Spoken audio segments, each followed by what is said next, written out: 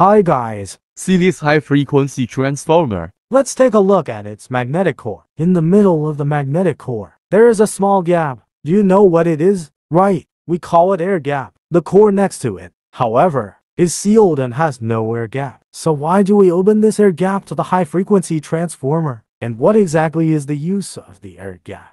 In simple terms, it is to prevent magnetic saturation, but it also increases leakage inductance and reduces efficiency. Figuratively speaking, we can describe energy as water, and a core without an air gap is similar to a water pipe. The water flows in and then flows out directly, and the core cannot store energy. While a core with an air gap in the middle is equivalent to a reservoir, the air gap is equivalent to a dam. When the water comes in, it is intercepted and cannot flow out. After a while, we stopped the water input and started to release the water. This time the water can flow out of the reservoir. The magnetic resistance of air is relatively high, and when the energy tries to pass through here it is intercepted and then stored.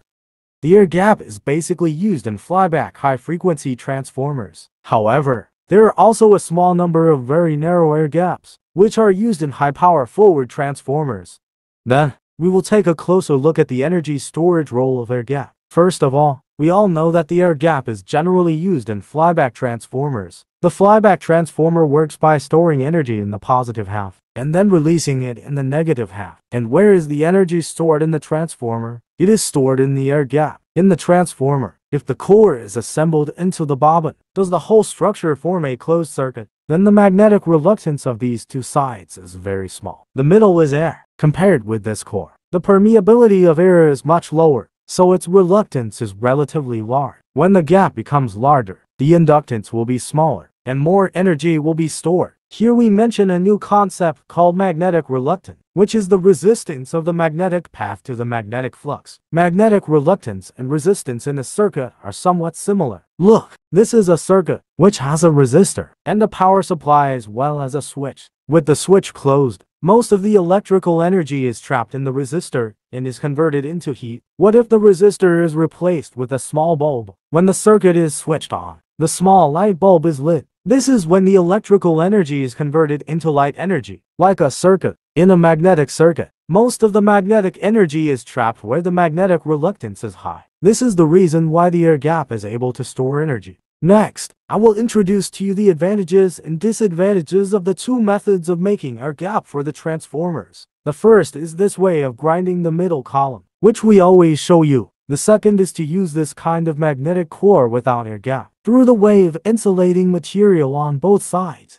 After cushioning, it is equivalent to opening three air gaps. Then what are the advantages and disadvantages of these two ways? Let's first introduce the advantages and disadvantages of this way of grinding your gap. First of all, let's introduce to you the advantages. The advantage is that it has high stability and is not greatly affected by cold and heat. Also, because it is wrapped by the coil, the magnetic flux leakage will be less. Because the circle around the core is closed, the energy of the magnetic field can hardly leak out. For the disadvantages, first, if you need to adjust the size of the air gap, it needs a grind. In relatively speaking, it will be more troublesome. The adjustment is not convenient like the part which have no cushion air gap. In addition, due to the edge magnetic flux effect of the air gap, there will be eddy current effect on the winding, and the heat dissipation of the winding around the air gap will be more difficult. So the temperature rise in the middle of the air gap is too high, and the efficiency will become relatively low. Then how to solve this problem? For example, the yeah type, when connected into a closed loop like this, the air gap opens on one side of the core, so it can be solved by winding on the other side to avoid the air gap. However, the E-type cannot avoid the air gap after putting it into the transformer skeleton. What should we do?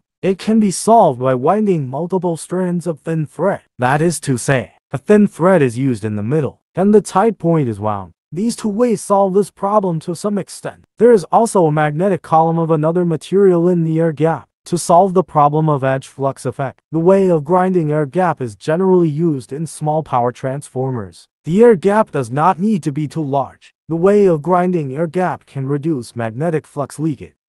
Now, let's go on to explain the advantages and disadvantages of air gap. The air gap of the cushion is generally symmetrical on both sides. Due to the dispersion of the air gap, it can effectively reduce the leakage inductance and reduce the influence of the edge magnetic flux of the air gap, so the efficiency is higher. Moreover, the edge pillars are in the air and dissipate heat faster, so the temperature rise of the overall transformer will be lower. So is this kind of cushion air gap better than grinding the middle column? That's not necessarily true. The way of cushioning the air gap also has many disadvantages. First, the stability is poor, which will be greatly affected by thermal expansion and cold contraction. And there is an air gap around. The magnetic field energy will leak directly into the air. It is obvious that EMI will be more difficult to meet the requirements than grinding the air gap. If this situation is to be avoided, low power transformers can be solved by cladding copper foil. Just like this. Wrap the copper foil around the transformer and secure it with duct tape, but this will slightly reduce the efficiency of the transformer.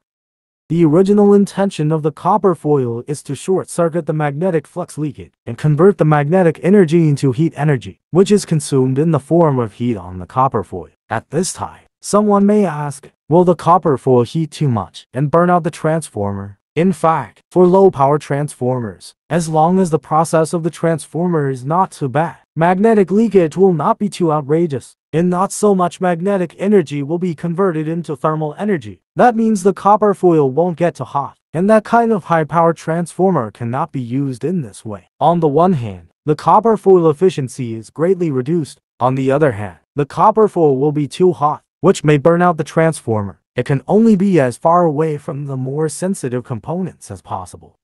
This way of cushion air gap is mainly used in large power transformers. The air gap needs to be opened relatively large. At this time, the way of cushion air gap will be better. The work efficiency will be higher.